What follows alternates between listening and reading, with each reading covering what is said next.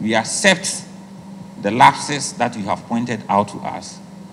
But collectively, we must know that we have a responsibility. And I keep saying that if you look at the industry, the greatest enemy of the industry, the educated elites, those of us who are educated.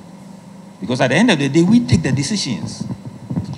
And if you look at what has happened in the industry, at, at the end of the day, you can trace them to either Osei-Gyasi, who is well qualified and should have known what he was doing, or Mr. Kaba, or Daniel Addo, or that person who should have known what he was doing.